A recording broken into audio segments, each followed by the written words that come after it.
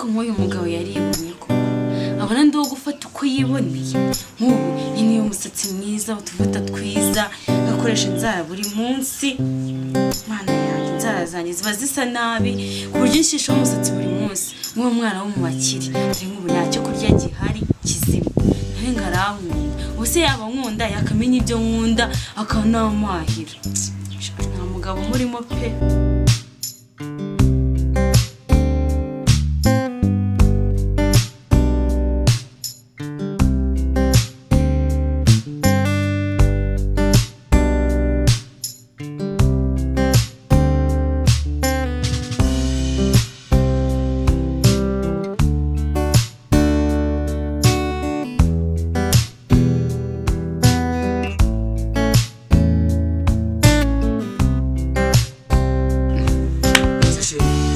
Byagenze bite ko mbona uri kwivugisha? Neza neza nurutse hariya hepfo ndivuga ati se ni ikihe kintu ntigeze ntunganya cyamuteye koko kuba ari kuvuga kuriya? Ese undi. Iyo witegereje neza ubona ntagukunda koko. Ngo nde? Subiramo. Mva nakubwiye ko uzongera kunyita sheri mu gihe umpa ibyo nshaka. Ariko reka nkubwira uzi ko ukabya? Ubu koko uragira ngo nzaguhe ibintu nafite ubwo nyine nkwiyambe nawe uzibagirwa kongera kunyita sheri. Ariko ubundi reka nkubaze. Ubu ni igiki wamburanye? Ku buryo njye ntawe umugabo wawe. Ukifata ngo njye ntabwo mfite uburenganzira bwo kukwita sheri ko nabikwitaga mbere se?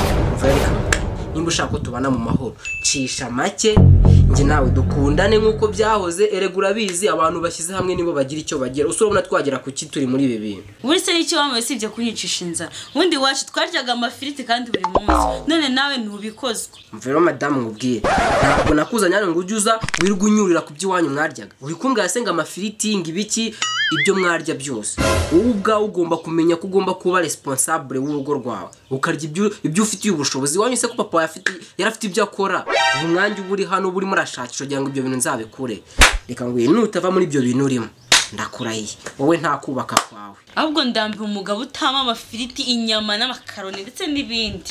Umva niba udashoboye kubima ibyo byose ndi kugusaba uzahora uri imbwa rubebe imbere yanjye. Kandi nigende ndabona nanaguhaza nta nubwo uteye apeti sawa sha.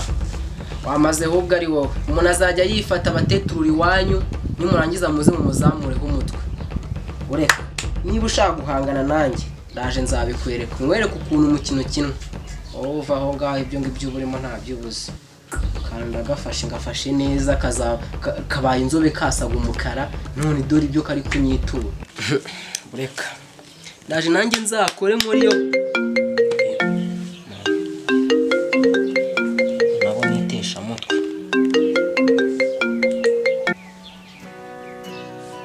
eee ni tanda. Nabikoze muri kiriya cyumweru. Eee vugisha ukuri. Magana atandatu. Ibihumbi cyangwa ni ibice yewe we yewe we. Ahubwo se mundangiraho muri neza. Nabikinnye nzi ko ntari buyatsindire. Umva rwose murakoze pe muri inyangamugayo ahubwo se nayabona gute? Mhm. eh ndahabona harya impande ya parikingi. Sawa. Kuri iyi nomero. Nta kibazo rwose ndaza kubikurikirana. Eh. Ye ye ye. Ariko kuko imana irebera imbwa ntihumbye sheri sheri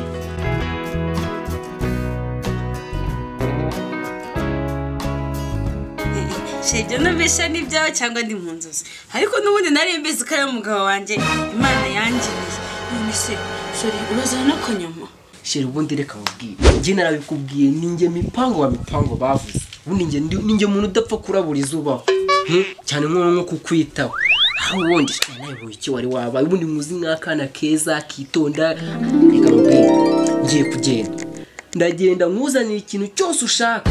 Kurenge. Ahubwo yavuguza n'akantu umuntu agende abitunganya hakiri kare. Wapi nagira ngo ukebure? Noneho nta mugabo ukuruta. Kandi imana yakumaye ibizi neza neza ko uzavamo umuntu umugabo. Ariko urundi shereka nkubaze iyo nagutuka ngo ngutokoze mu kanya. Uba ubonye ayo mafaranga? Nakugira ngo ushyire ku murongo neza neza ku buryo nyine tuzabana twabane neza tubyuka tukarya inyama apana kurya imiteja na karoti. Tukabyara udupucyuri twiza. Sibyo ikintu ngukundira ni kimwe unyita imbwa ukagira gute? Ubundi mu kandi kanya wabona amaze kugira utuntu tw'uduceri ugahita uzumbwira ngo sheri ngo switi kandi iyo iyo ayo mafaranga nayafite ntabwo uba unyikoza. Ubundi ibyo waba uri kuvuga ni byo. Eh? buriya urankosoye nanjye ndemera.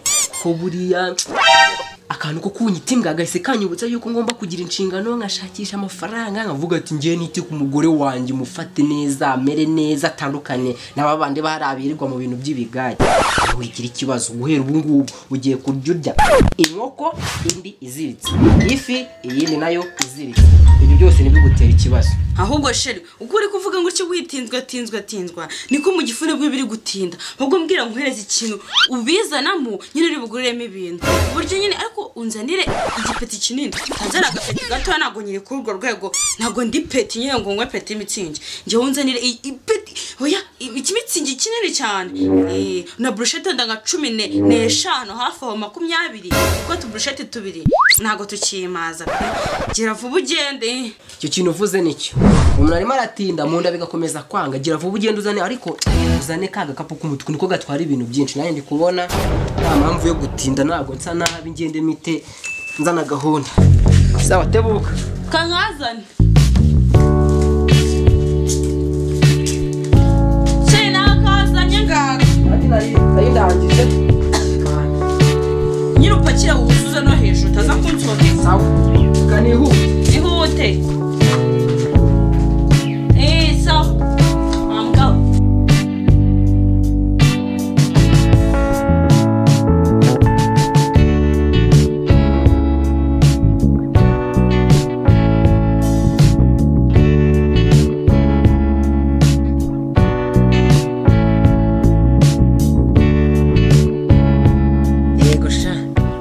mbere yose nanjye wambeshyeye wanshutse ukangira igihwene. Nanjye ndaguhamije kabisa. Ngo inyama ngo ibihumbi magana atandatu. Kuri ubundi niko uhita upima umugore ugukunda. Uriya ntabwo ankunda ahubwo ikintu aba akurikiye ni amafaranga yaje yizeye ngo mfite amafaranga ku kamoto na yo natinjya kumutereta. Ureka. Aho kugira ngo ngende ngo ngiye gushakisha ngo inyama iki? Ngiye kujya kwa claude nikopesha ibijumba. Aba ari byo muzanira. Ubundi natabirya bireke. Gihwene ntabwo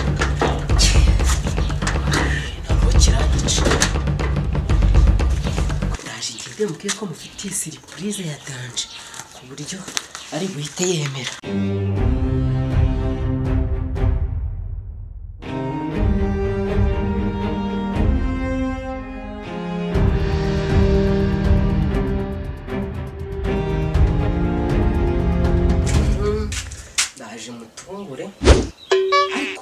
ntabwo nahita nyimuhereza gutya ndaje mukore siripurize